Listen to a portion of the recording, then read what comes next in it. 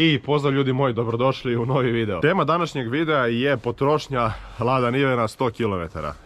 Vjerojatno ste svi vidjeli moj TikTok, pošto je postao poprilično viralan, ima 650.000 pregleda. E, imamo male tehničke probleme. Uzmi ga. Evo imamo i novog youtubera sad, mog kolegu. Uglavnom, vjerojatno ste svi vidjeli taj TikTok, pošto je postao poprilično viralan, ima 650.000 pregleda. I tu smo ustanovili da Lada Niva na 100 km gradske vožnje potroši 25 litara, što je apsolutno bilo previše i jednostavno sam znao da tu nešto nije u redu. I odlučio sam da auto odvezem kod mehaničara i prethodna dva dana je auto bio kod mehaničara, ja sam tu malo snimao neke kadrove, tako da ćemo sada prvo njih da pogledamo i onda kad budete to vidjeli, onda ćemo da se vratimo i da vam zapravo ispričam šta je bio tačan problem sa autom i zašto je potrošnja bila tako velika.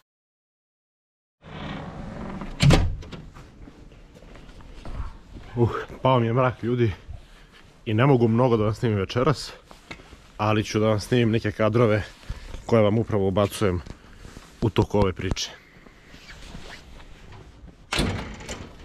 Dakle, ostavio sam široka ispred, iako sam ga oprao.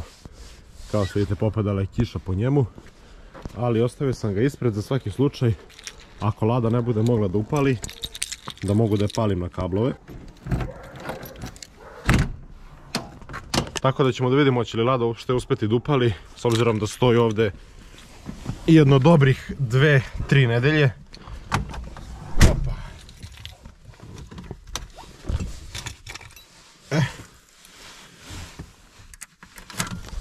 Ako ne bude mogla da upali, tu nam je široko, pa ćemo preko kablo. Šta se radi, ne bi bio prvi put. Izvlačimo sauh, malo drukam ovaj gas. Moram dogasim ovo svetlo iznad mene da mi ne bi vuklo struju. Ajmo vidimo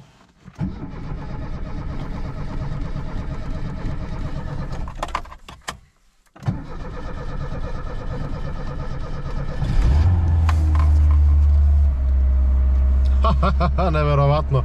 Ne mogu da veram ljudi da je upalilo. Opa.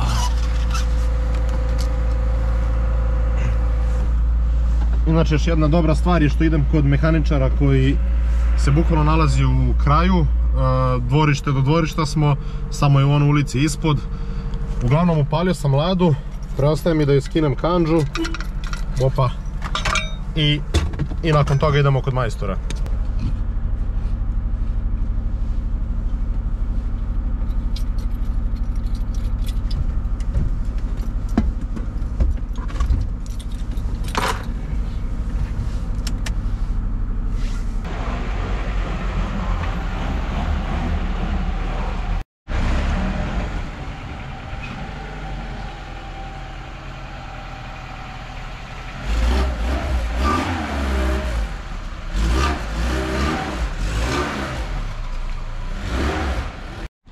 Evo sad kad smo ostavili ladu kod majstora, vreme je da spustimo široka u garažu.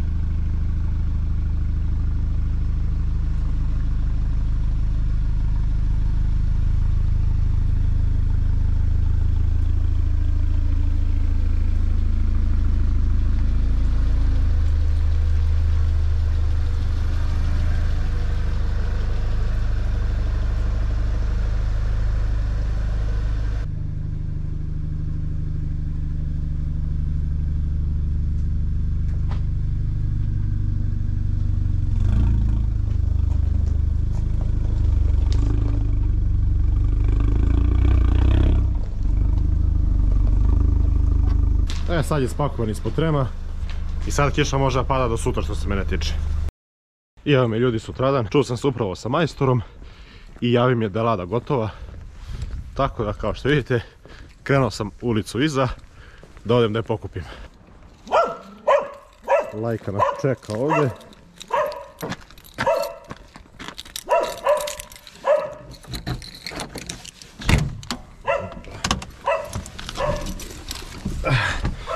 Stari miris goriva. Je, to Rus kad sklopi, nema tu zebancije mnogo. Tako je. Sad bi bila forica da ne upali. Što izlačimo sav opet. Ma laganica. What? Šta se upravo dogodilo? Meni nije jasno.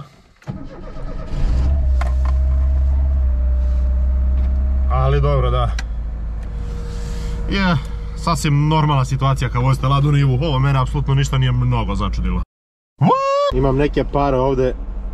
Ne znam kad su se stvorile, ali dobro.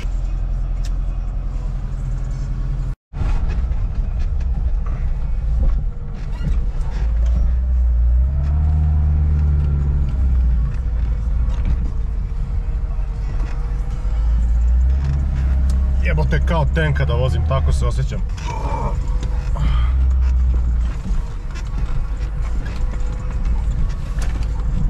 Opa, ali je.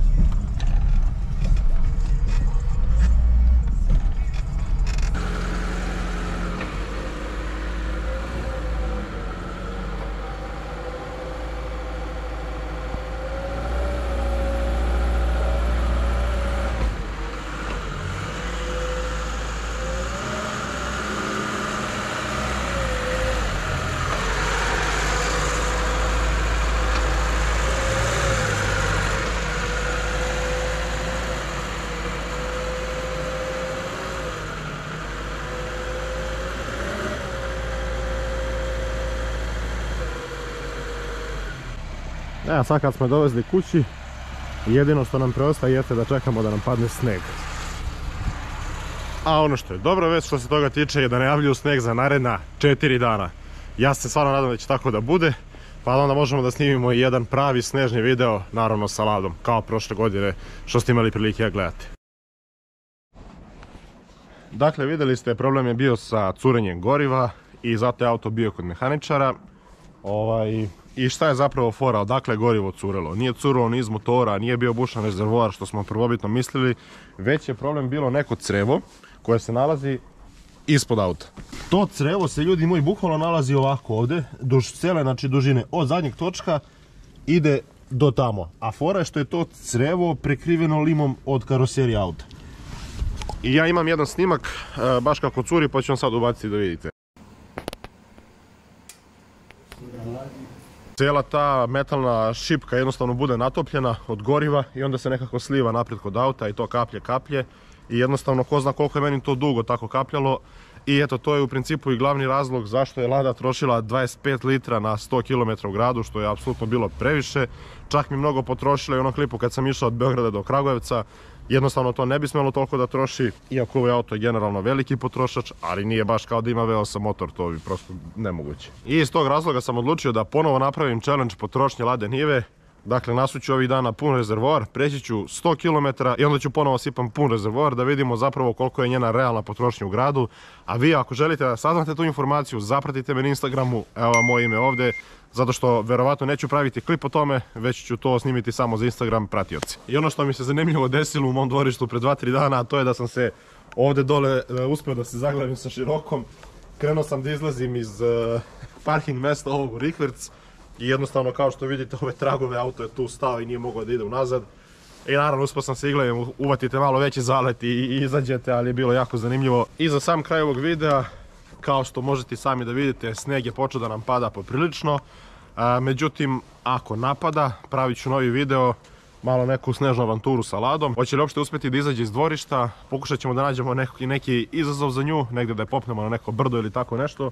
Uglavnom, sve to ostavljamo za sljedeći klip, samo pod uslovom da sneg dovoljno napada, da ga ima i na ulicama.